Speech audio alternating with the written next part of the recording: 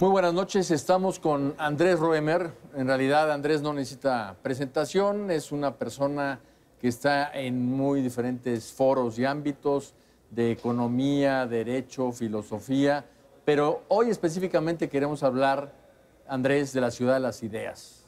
Acaba de terminar en Puebla este gran festival que tú organizas y en primer lugar te felicito, porque traer a México tantas mentes brillantes que hablen de tantos temas distintos no es tarea fácil, y menos emplear tus vacaciones en trabajar en vez de descansar. Entonces, Andrés, ¿qué es la ciudad de las ideas?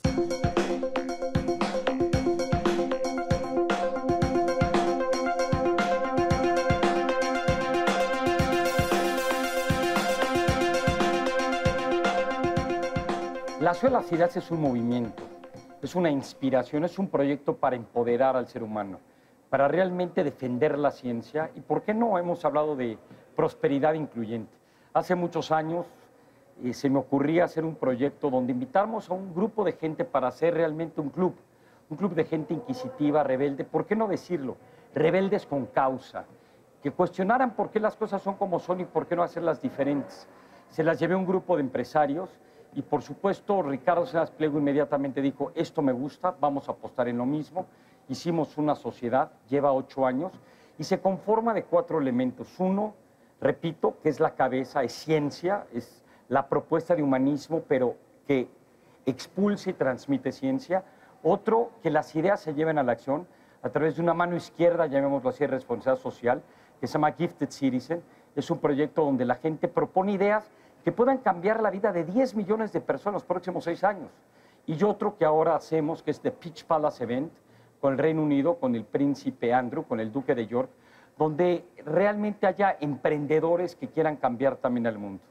Y todo esto se conforma de cuatro elementos muy rápidos, scholars, académicos que estén en la vanguardia, que estén inventando el presente y por lo tanto estén conformando el futuro.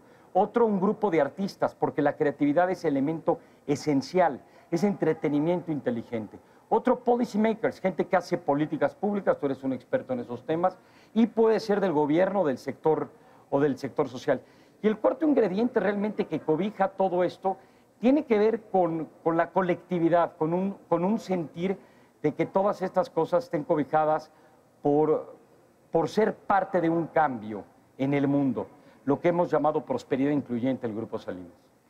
Porque mira, Andrés, yo en la Ciudad de las Ideas he escuchado eh, digamos, eh, ponencias tan importantes como la detección del cáncer en una muy temprana fase a través de la sangre y del propio celular.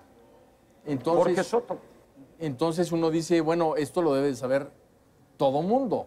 Hemos, eh, otras cosas tan distintas como la importancia de los murciélagos para que estemos viviendo como vivimos, o sea, para que se fertilice eh, la fruta, los campos, y para que no haya tantos mosquitos, porque las toneladas de mosquitos que se comen los murciélagos todas las noches nos ayudan a tener una, menos población, eh, una menor población de ellos. ¿Cómo hacer, Andrés, para que estas ideas tan interesantes, tan informadas, tan novedosas, lleguen a más gente? Pues es a través de las solas ideas. De hecho, es abrirnos el mundo. La palabra wonder, sorprendernos. ¿Por qué amamos? ¿Por qué los celos son importantes? ¿Por qué nos creamos enemigos? ¿Por qué nos mentimos a nosotros mismos? ¿Por qué nos duele tanto a veces la ansiedad, la ansiedad del estatus? ¿Por qué es importante entender la vida de los murciélagos y de los mosquitos y del universo? Abrirnos, abrirnos la mente y no es pensar fuera de la caja, es que no hay caja, es no creer todo lo que piensas. La única manera de transformar a la sociedad, de realmente tocar vida según este proyecto, no es a través de leyes, ni decretos, ni de hacer bardas, ni manejar drones. Es a través de generar una mente inquisitiva que diga, bueno, ¿y por qué? A ver, si Esteban, tú no hubieras sido hombre y mexicano y, a lo mejor de la religión que eres, y si no hubieras tenido a los padres que tuviste, y creo que son 11 hermanos, ¿no? 11 hermanos somos. Y si hubieras vivido una familia de dos, ¿cómo verías el mundo? Vamos a salirnos de nuestros zapatos, meter nosotros, abrir la mente y estar dispuestos a no creernos todo lo que pensamos y con esta mente inquisitiva a transformar el mundo con proyectos. Ahora, tú viste puros ejemplos que me encantan, el de la sangre, el de los murciélagos, el del universo, etc. esta es la ciencia, esto es lo que está generando la prosperidad y ese es el elemento. Y la gente que va tiene que vivir experiencias. Hoy los jóvenes, si la gente no quiere trabajar en un puesto que tenga esta función pública, no. Quiero vivir una experiencia, quiero que mi vida realmente tenga un significado. Y ya vamos en el octavo festival y me encanta saber que además Esperanza Azteca, que tú tan dignamente has dirigido, pues ha estado en todos. Ha estado presente en Desde, todos. En los siete, en los Gracias- siete de los gracias ocho. por la invitación y, y sobre todo porque el mundo entero conozca ¿no? lo que está haciendo México en ese terreno. ¿Por qué siempre ha sido en Puebla, Andrés? Mira, hicimos una evaluación con varias entidades federativas que tienen que tener determinadas condiciones y características. Por supuesto, infraestructura hotelera, carretera, aeropuertos internacionales, universidades, etcétera. Lo de las universidades es más importante de lo que parece, porque Puebla es el segundo estado en la República con mayor capital humano y social. Los clústeres educativos son fundamentales.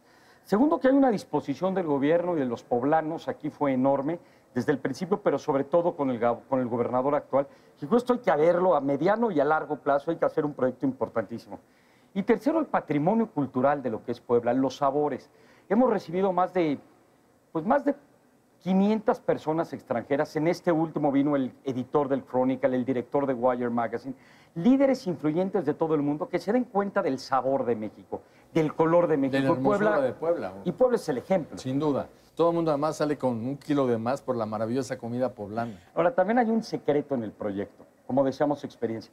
Si yo lo hiciera en la Ciudad de México, y muchos son capitalinos, entrar a una conferencia en ahorita vengo, voy a ir a una comida, regreso, tengo esta cita. Aquí hacemos un tipo, un tipo de escaparnos de nuestra especie cotidianidad. Correcto. Andrés, algo bien importante, a, a mí me llama mucho la atención. Yo he visto a muchos eh, ponentes de San Francisco.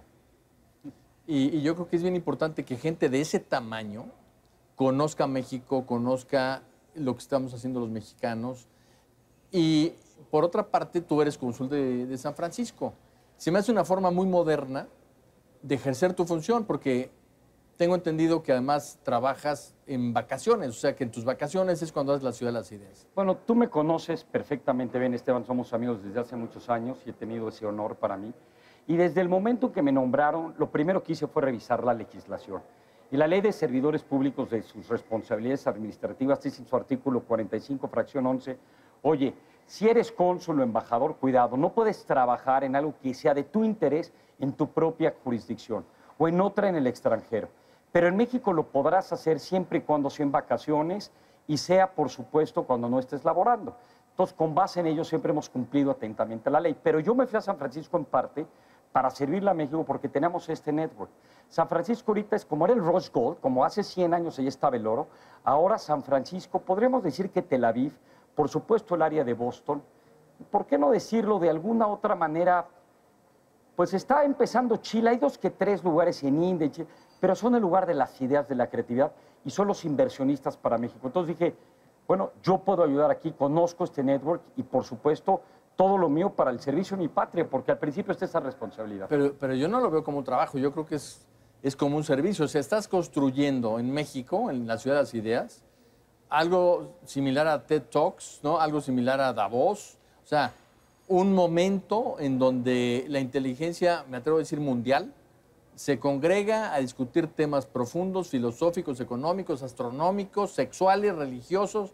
Oye, el debate que se dio sobre la Chopra despenalización Ah, de, de la droga. marihuana, yo creo que ha sido todas las drogas, sí. el debate hasta ahorita más informado, más respetuoso y, y- y más, eh, digamos, eh, No, qué bueno que diverso, lo sacas, ¿no? porque siempre es bueno aclararlo.